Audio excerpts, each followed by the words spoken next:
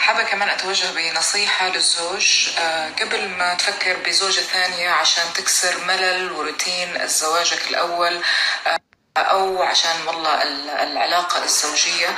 فكر إنك تبذل جزء من هالمجهود اللي أنت طالع فيه لبرا لزوجتك الثانية. جرب تصلح فيه وتجدد علاقتك مع زوجتك الأولى. إذا والله فشلت أوكي لكل حادث حديث.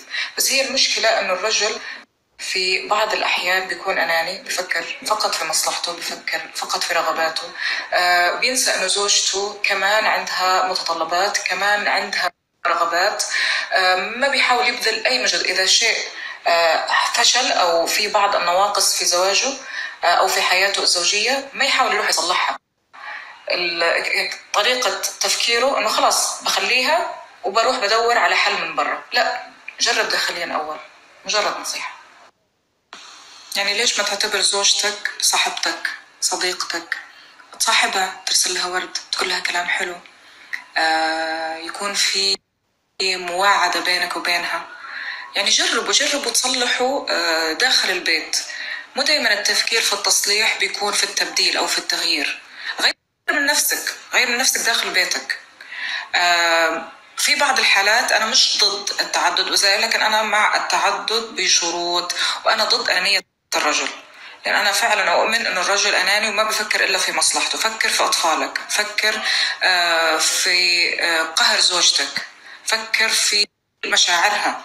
فكر أنه أنت كمان يمكن ما بتلبي كل طموحاتها وكل أحلامها وكل رغباتها. فكر بكل هالأمور.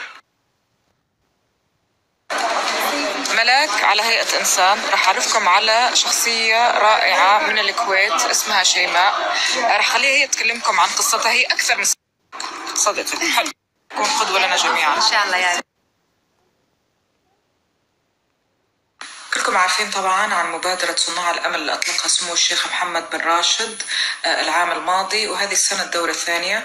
في كلامنا واعم استضفنا صانعات أمل من الوطن العربي من بينهم شيماء اللي من شوي يعني سويت معها مقابلة مختصرة. صراحة نماذج قمة في الإيجابية.